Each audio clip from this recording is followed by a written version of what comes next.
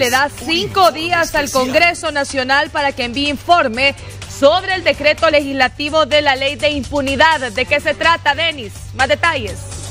Gracias, Carolina. Buenos días. Eh, así es, en efecto, mucha atención a este informe especial porque la Sala Constitucional de la Corte Suprema de Justicia está solicitando al Congreso Nacional envíe el expediente del decreto número 117-2019 que emitió el Congreso Nacional el pasado mes de diciembre.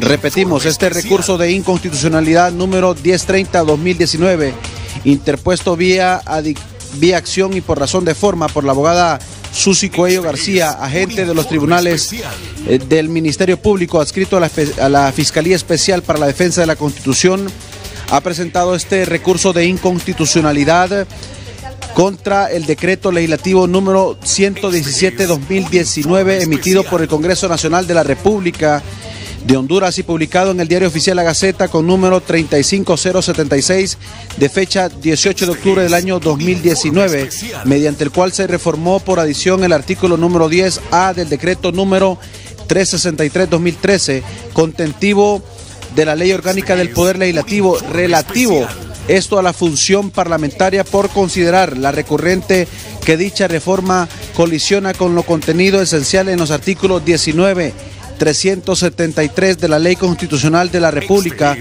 por lo que concede el término de cinco días hábiles al Congreso Nacional a fin de que remita estos antecedentes del caso del proceso de la reforma de la ley impugnada en este caso o más conocida la ley de inmunidad que se aprobó en el Congreso Nacional. Repito, la sala constitucional. En este momento le consultamos a la diputada Welsi Vázquez qué opinión le merece ante esto que le está solicitando la sala constitucional al Congreso para que remita en cinco días hábiles este antecedente y se pronuncie sobre esto que se aprobaron ustedes, esta ley de inmunidad que le han denominado.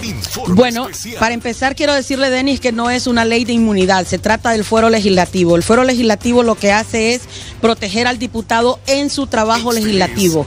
Hay muchos compañeros diputados que lamentablemente no quieren firmar ningún dictamen en el Congreso y se han atrasado mucho porque piensan los diputados que cualquier proyecto que se apruebe en el Congreso Nacional van a ser llamados por las autoridades y van a ser judicializados judicializados como lamentablemente ya ha ocurrido en este Congreso. El fuero legislativo lo que hace es proteger el trabajo legislativo que no tiene absolutamente nada que ver con temas de corrupción o con otros temas individuales que ande cualquier diputado. ¿Qué pasa si la sala dice que ese decreto que ustedes se aprobaron es inconstitucional? ¿Qué va a pasar con ustedes?